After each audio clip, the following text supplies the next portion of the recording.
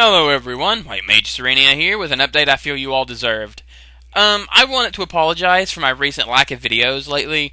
I've uh, kind of been busy trying to fig figure out an easier way to do uh, to do my Let's Plays. Doing four at once, even with a daily rotation, is kind of a lot more trouble than I what I originally thought.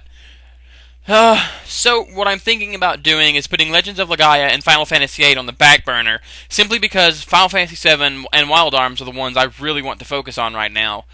Um, anyway, I know some of you guys get rather uh, antsy in anticipation for my, you know, recent or next episodes, especially a lot of you new subscribers, which I appreciate the support, and a lot of you old ones too.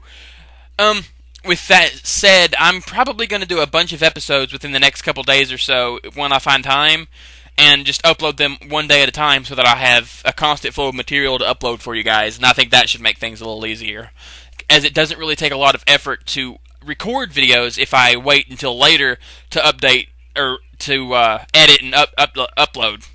To record, it only takes two or three hours to do maybe six episodes or something. It's not that bad.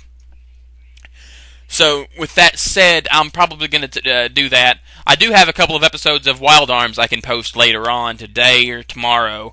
Um, but yeah, that's pretty much all I wanted to say. I've also been enjoying a game, or uh, I've been trying to keep organized with Sage's uh, Chrono Cross, as well as trying to find time to do Seiken Densetsu with him as well. Um, with that said, as well, I've also been playing Little Big Planet, which I recently got.